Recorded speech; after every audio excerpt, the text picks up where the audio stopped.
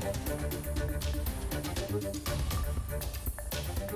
And you're looking live at the Corpus Christi Trade Center as a number of Corpus Christi fire trucks are on the scene. Again, this is a live look as firefighters working on finding out where smoke is coming from. There's report of a fire there. Crews say the smoke apparently started from an AC unit at the building.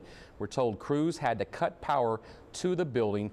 Uh, stay right here on 3 News for the latest updates on this as they become available, perhaps throughout the rest of the newscast.